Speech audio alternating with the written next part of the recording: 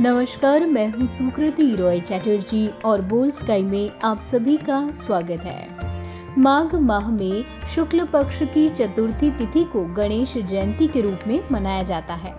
इसे गणेश चतुर्थी, माघ विनायक चतुर्थी और वरद चतुर्थी भी कहते हैं।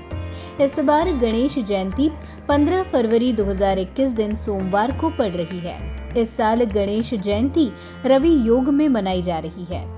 दक्षिण भारतीय मान्यता के अनुसार इस दिन भगवान गणेश का जन्म हुआ था। मान्यता है कि इस दिन विधि विधान से व्रत और पूजन करने वालों की सभी मनोकामनाओं की पूर्ति होती है। गणेश जयंती तिथि और मुहूर्त।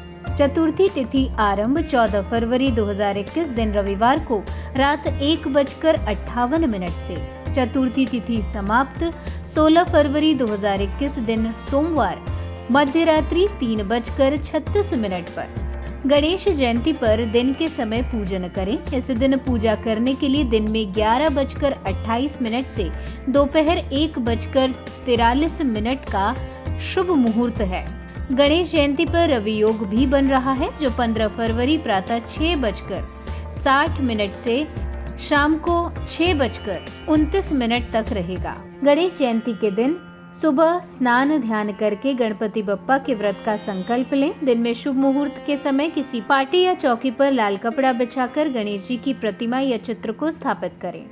गंगा जल से छिड़काव करें और गणपति बप्पा को प्रणाम करें। सिंदूर से गणपति जी को तलक करें और धूप दीप जलाएँ।